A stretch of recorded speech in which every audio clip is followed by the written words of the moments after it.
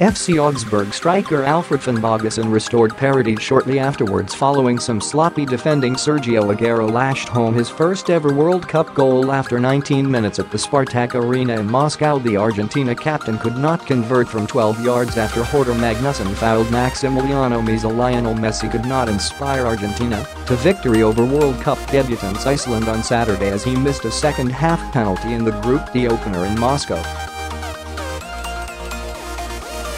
The Barcelona star had the opportunity to put La Albiceleste back in front in the second half at the Spartak Arena after Maximiliano Meza was bundled over by Bristol City's Hordur Magnusson, but a poor spot kick by his usual standards was beaten away by goalkeeper Hannes Thor Halldorsson.